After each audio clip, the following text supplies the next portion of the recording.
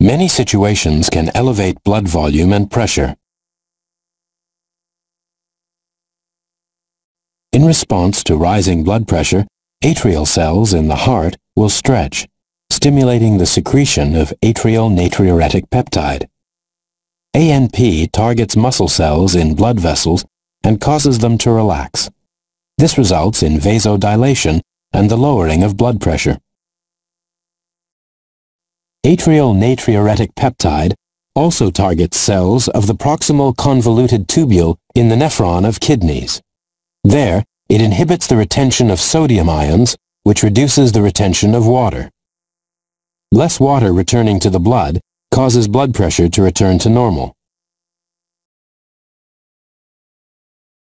High levels of angiotensin II result from low blood pressure or low levels of sodium ions or high potassium ion blood concentration.